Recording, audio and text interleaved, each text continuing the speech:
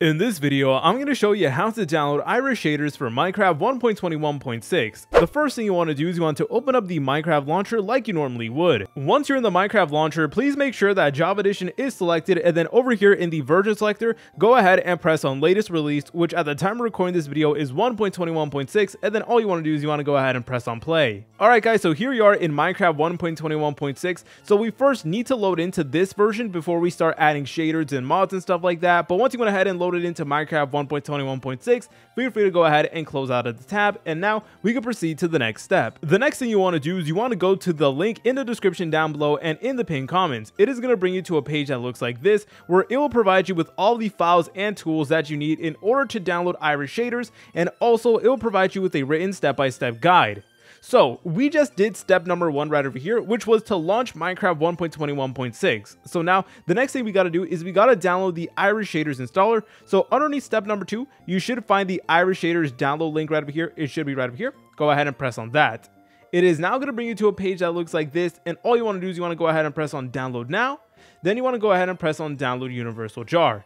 And while that's downloading, let me tell you guys about Simple Game Hosting. Simple Game Hosting offers affordable and quality Minecraft servers where you're able to upload mods, mod packs with the click of a single button. There's dozens of the plugins, video guides showing you how to do everything, and best of all, it will work for Minecraft 1.21.6. So if you want to play with your friends with mods or even shaders, then Simple Game Hosting is the way to do it. Simple Game Hosting offers multiple plans that you guys can go ahead and try out, and also there is 24/7 live customer support, which will definitely come in handy. There is also a refund guarantee on Simple Game Hosting, so there really is no risk. So if you wanted to make a Minecraft server, now is the perfect time to do it. And guys, if you go to the link in the description down below and in the pinned comments and use code FRYBRY, then you will get an additional 25% off your very first month of Minecraft server hosting. The link is in the description down below and in the pinned comments. All right, boys, that's enough yapping out of me. So the next thing you want to do is you want to go ahead and locate the Iris installer file. So for me, I'm able to go ahead and access it on the top right. Now, depending on your web browser,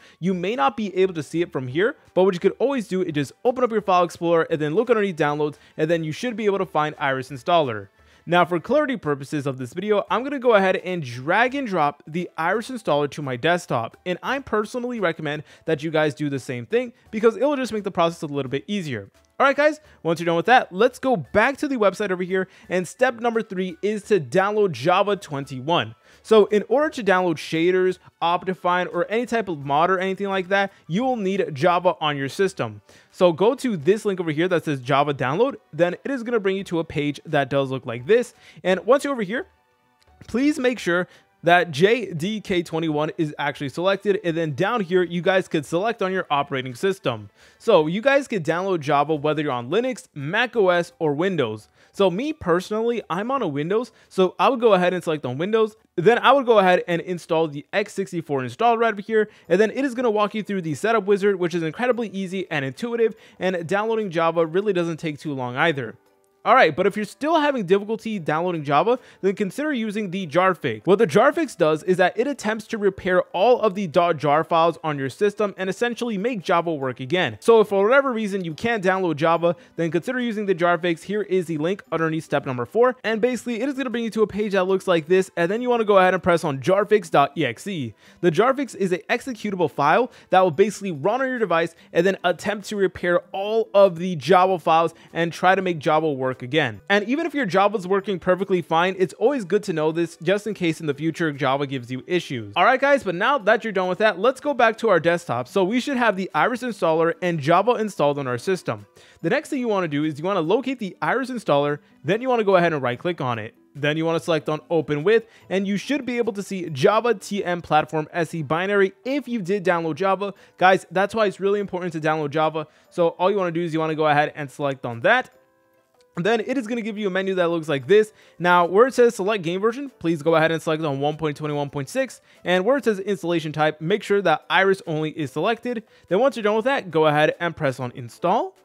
Once you're done with that, feel free to go ahead and close out of the Iris installer. And the next thing you want to do is you want to go ahead and open up the Minecraft launcher one more time. All right, guys, now from here, make sure that Java Edition is selected. Now this time, you want to go to the top menu and press over here where it says installations. Then where it says versions, please make sure that modded is actually turned on because this is technically considered a modded version of Minecraft. So please go ahead and make sure that modded is turned on. And yeah, you should be able to see that Iris and Sodium for 1.21.6 is in this list right over here. So once you went ahead and see Iris and Sodium for 1.21.6, we could proceed to the next step.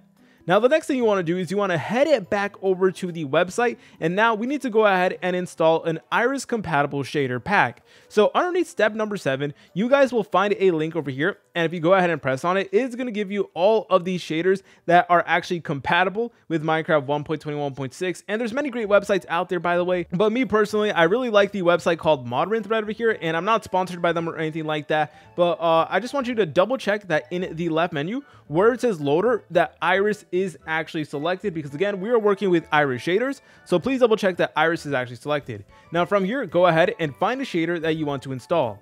For this video, we're going to keep it simple and we're going to go ahead and download the BSL shaders right over here.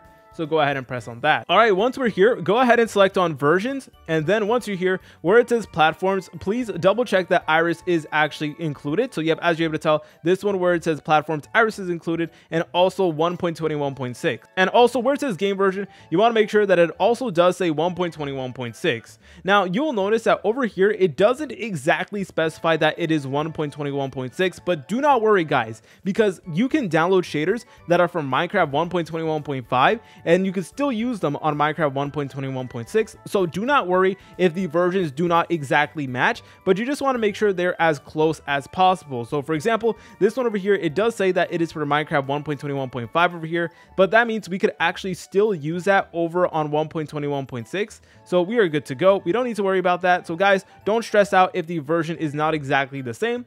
But now all you want to do is you want to go ahead and press over here where it says download. Then there you go. We have the shaded right over here. Now go ahead and drag and drop it to your desktop one more time. There you go. And now once you're done with that, head back over to the Minecraft launcher.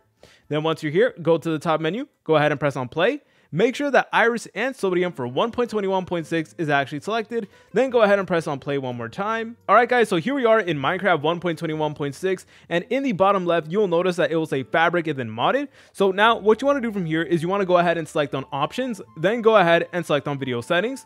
Then in the top menu, you will notice that there is going to be an option that says shader packs and all you want to do is you want to go ahead and press on that.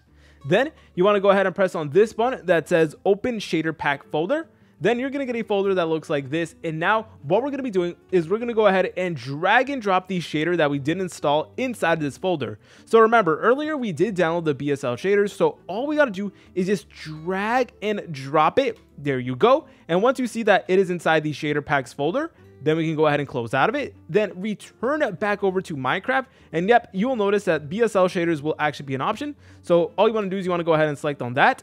Then you want to go ahead and press on apply. All right, once you see that it is actually selected, you will notice that it is selected because of the yellow text. Then go ahead and just press on done. Then go ahead and press on done, done, and then load into any Minecraft world you do have. And as you're able to tell, these shaders are actually working and Minecraft is just so incredibly beautiful with the BSL shader, guys. And I'm honestly really hyped about that. But guys, it is summertime now and now is the perfect time to create a server for you and all of your friends to play together. Remember to use Simple Game Hosting because it offers affordable and quality Minecraft servers where you're able to upload mods and mod packs with the click of a single button. The link to Simple Game Hosting can be found in the description down below and in the pinned comment. If you guys found this video helpful, make sure to leave a like and subscribe. See you later, french fries.